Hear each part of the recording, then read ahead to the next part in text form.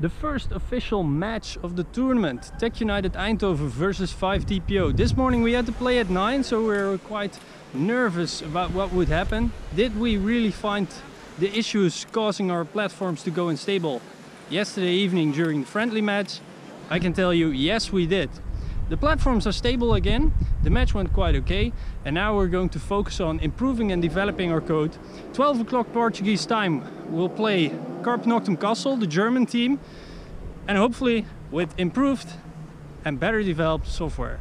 The match, Tech United Eindhoven versus Carpe Noctem is about to start and Yannick is here with me. Yannick, how do you think the match will go? The passes were received a lot more and goals were scored. But also there we saw some points for improvement, especially the defense did not work out every time. Carpe Noctem managed to get quite close to our goal. But aside from the bad defense, we were still able to score some goals and in the end it became 8-0. In the afternoon before the match with VDL Robot Sports we managed to improve a lot. The performance of the intercepts, dribbling and finishing in goals improved.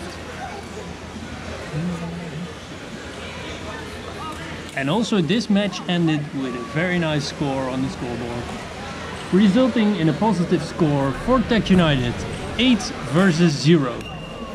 It's 11.30 and Tech United is still testing at the Portuguese Open. The venue will close in any moment, but we want to make sure that tomorrow, in the matches versus the Falcons, the Dutch team, and CAMBADA, the Portuguese team, will give it our best.